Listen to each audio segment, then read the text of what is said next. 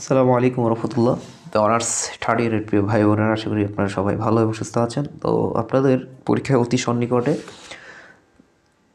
সুতরাং numerical analysis যে sub বিষয়টি আছে, তো সেই বিষয়ে আজকে চ্যাপ্টার ফাইভ নিয়ে কথা বলব। ইম্পর্টেন্ট যে যে প্রশ্নগুলো, সেগুলো সলিউশন করার চেষ্টা করব আমি। তো আমরা চ্যাপ্টার ফাইভ পর্যায়ক্রমিক পদ্ধতি যেটা আছে, তো সেই চ্যাপ্টারে আমরা যদি পাঁচ নম্বর প্রশ্নটা দেখি যে একটি ম্যাট্রিক্সের আইগেন মান এবং আইগেন ভেক্টর যে সে দিতে বলা হয়েছে এবং শক্তি পদ্ধতি অর্থাৎ পাওয়ার মেথড যে পদ্ধতি সেটা ব্যবহার করে ম্যাট্রিক্সের আমাদের আইগেন মান বের করতে হবে এবং সংশ্লিষ্ট আইগেন ভেক্টর বের করতে হবে এবং এই ম্যাট্রিক্সের মান কিন্তু দেওয়া আছে। তো এটা অনেকবার আসছে, দেখেন, অনেকবার আসছে। তো এই অঙ্কটা যদি আমরা পারি, তাহলে আমরা কিন্তু ওই যে খ ইউনিটের যে নয় নম্বর যে প্রশ্নটা, সেটার অ্যান্সার সমাধান করতে পারব।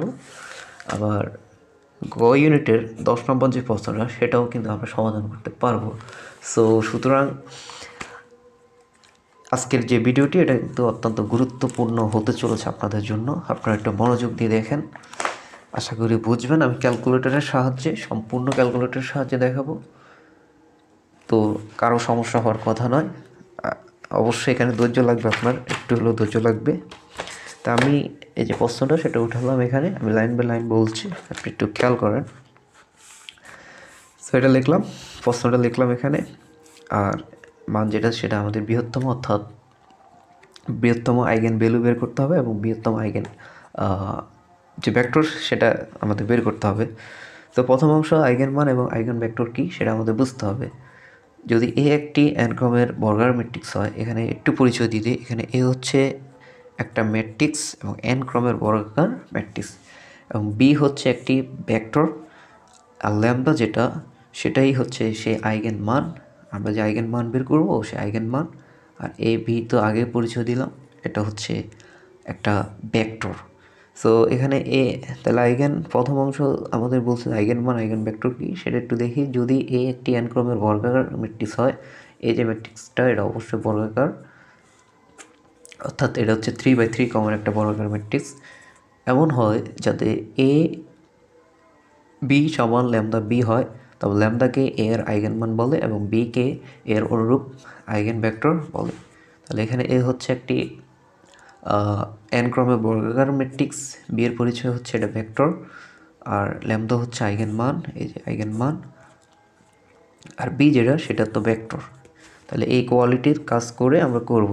তাহলে এটার সলিউশন শুরু করে, দেওয়া আছে সমান, যেটা সেটা মনে করি প্রাথমিক আইগেন ভেক্টর আমরা বি নট ধরবো ওয়ান জিরো জিরো আমরা এইভাবে ধরতে পারি জিরো জিরো ওয়ান অথবা ওয়ান জিরো ওয়ান অথবা ওয়ান ওয়ান ওয়ান তা আমরা বোঝানোর সুবিধার্থে প্রথমটাই ধরি, সাধারণত বইয়ে যেহেতু এইভাবে দেওয়া আছে ওয়ান জিরো জিরো এটা আমরা ধরবো, কেমন? তাহলে বি নট সমান প্রাথমিক যে আইগেন ভেক্টর সেটা আমরা ওয়ান জিরো জিরো ধরবো। তো এখন আসেন যে প্রাথমিক যে আইগন ভেক্টর, সেটা কিন্তু আমরা ধরলাম। এখন এটা কোন সব যদি টু বাই টু ক্রমের হতো ম্যাট্রিক্সটা বর্গাকার তখন আমরা কিন্তু দুইটা ধরতাম ওয়ান জিরো ধরতাম। এটা যেহেতু থ্রি বাই থ্রি এ কারণে তিনটা ধরলাম, কেমন? তো এটা সিস্টেম হচ্ছে প্রথমে আমাদের যে কাজটি, সেটা হচ্ছে এই ম্যাট্রিক্সের সাথে যে বি ম্যাট্রিক্সটা আছে সেটা আমাদের গুণ করতে হবে। তাহলে ম্যাট্রিক্স লিখলাম, আর বি ম্যাট্রিক্স বলতে এখানে আমরা বি নট যেটা প্রাথমিক ধরলাম, সেটার মান কিন্তু আস্তে আস্তে বাড়বে।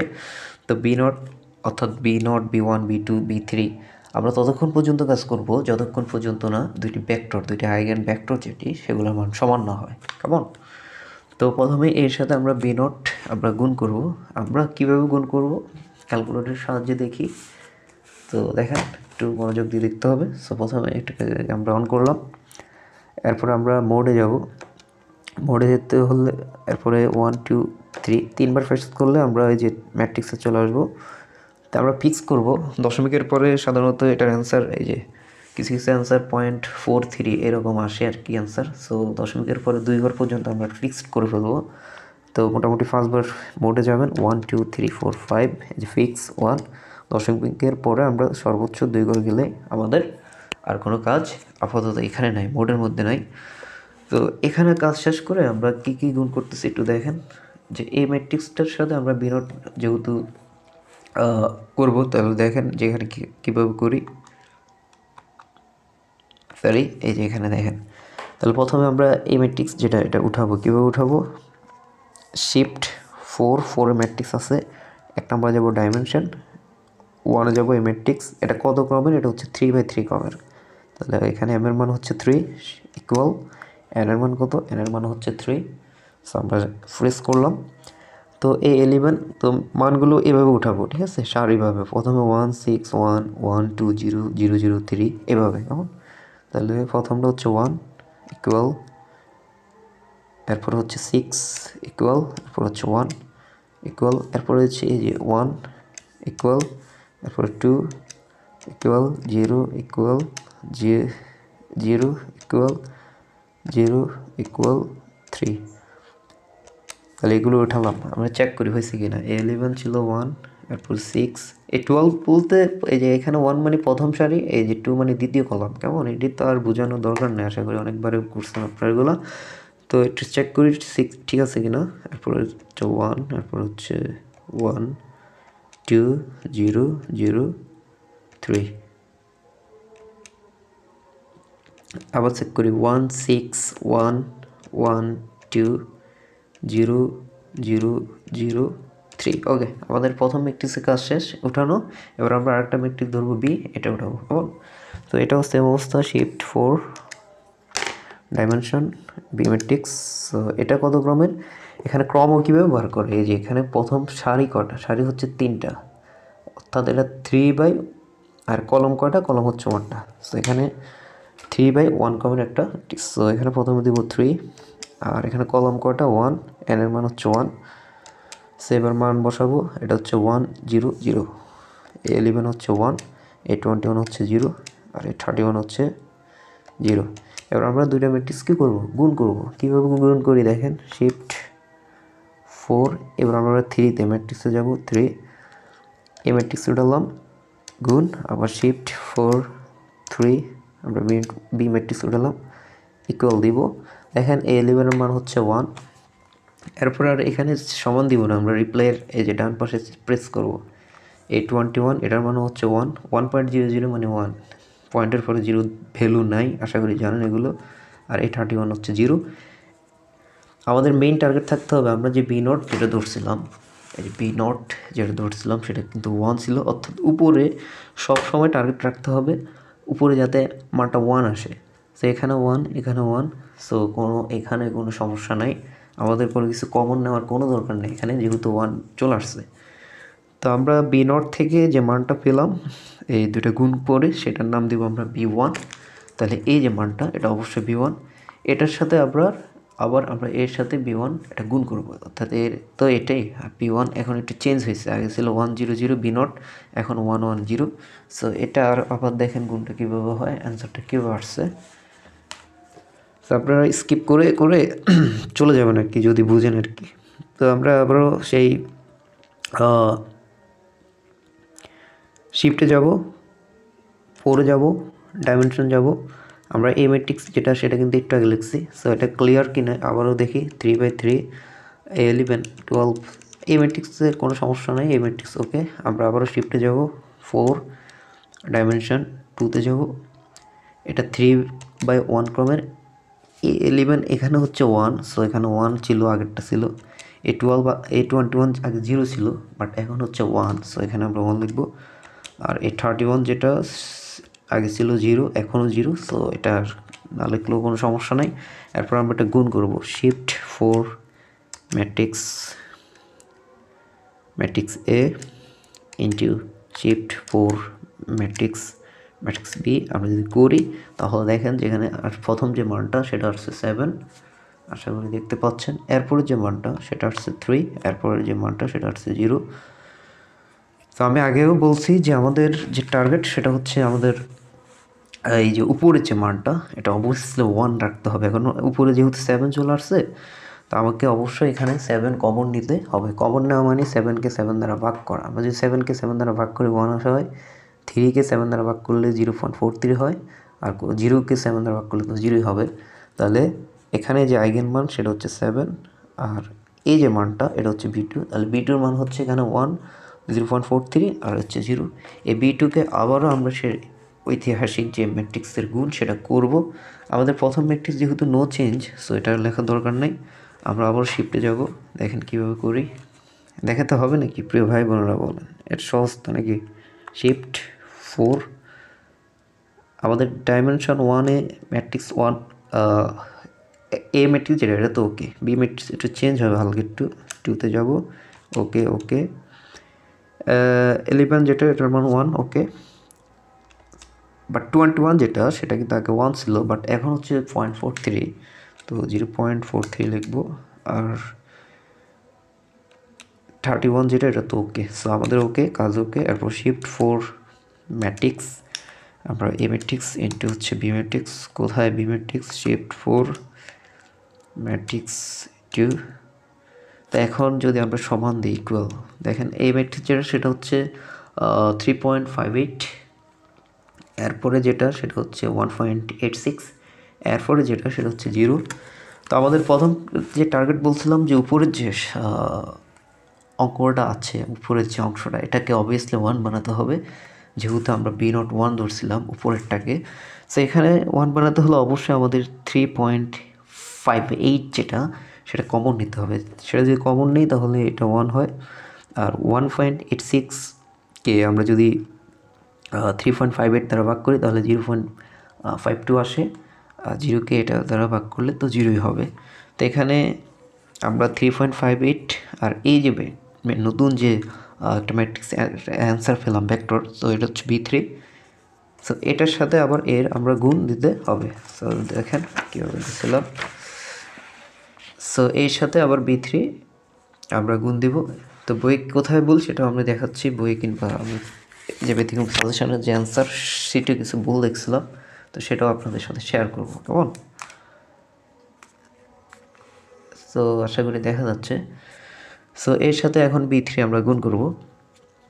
বি থ্রি যদি গুণ করি, তাহলে দেখেন আমাদের প্রথম ম্যাট্রিক্স ঠিক আছে, আমাদের শুধু বি ম্যাট্রিক্সটা একটু চেঞ্জ হবে। তো শিফট ফোর শিফট ফোর এরপরে কি? এই যে ম্যাট্রিক্স হচ্ছে থ্রি নম্বরে। তো বি ম্যাট্রিক্সটা চেঞ্জ হবে। সো আমরা টু চাপবো। এখানে প্রথম যে মানটা ইকুয়াল দিব এলিভেন যেটা আচ্ছা সরি আবার প্রথম দিকে দেখাই। এগুলো দেখাইতে একটু ঝামেলা হইতেছে। Four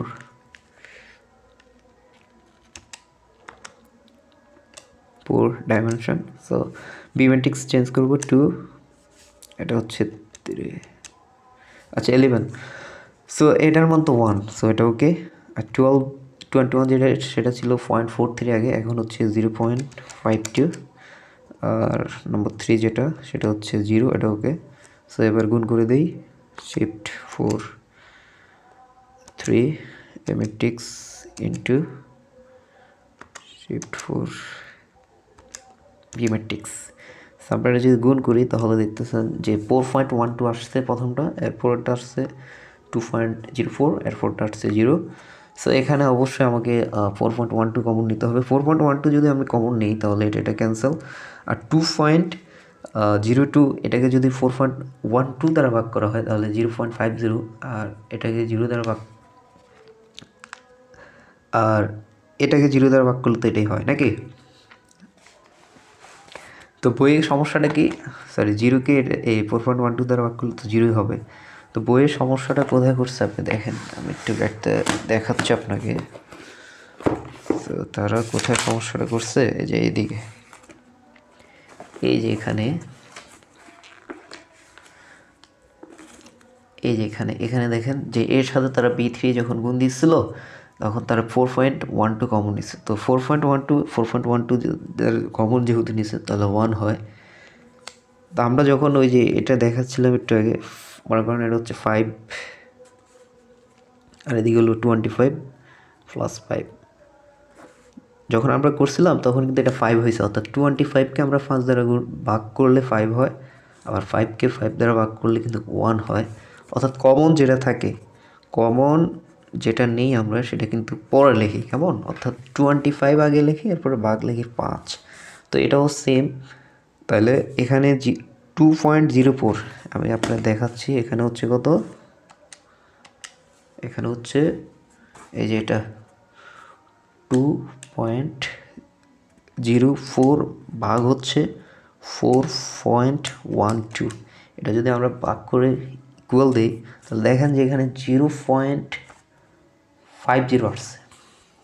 আপনি আশা করি দেখতে পাচ্ছেন যে জিরো পয়েন্ট ফাইভ জিরো কিন্তু তারা এটা লিখছে জিরো পয়েন্ট ফাইভ টু তো সরি এই যেটা তারা লিখছে জিরো পয়েন্ট ফোর টু তাহলে কি এটা কি হলো? জিরো পয়েন্ট ফোর টু এটা তো হচ্ছে তারা লিখছে এটা জিরো পয়েন্ট ফোর জিরো আপনারা কিছু মনে করবেন না, আসলে ভিডিও করতে একটু ভুল হয় সামান্য।